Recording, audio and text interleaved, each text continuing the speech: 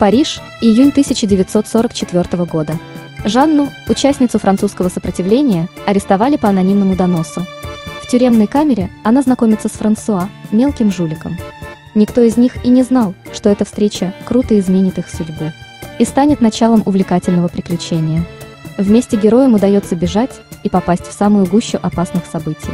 Их ждет бег по парижским крышам, неторопливое путешествие по рекам и каналам Франции на борту баржи Гималаи и поиск пропавшей сестры, которая, судя по всему, оказалась в лапах фашистов.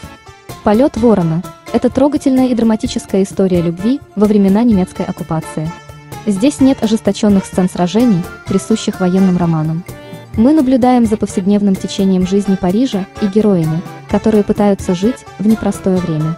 Эта книга для всех, кому нравятся остросюжетные истории. Для всех любителей комиксов –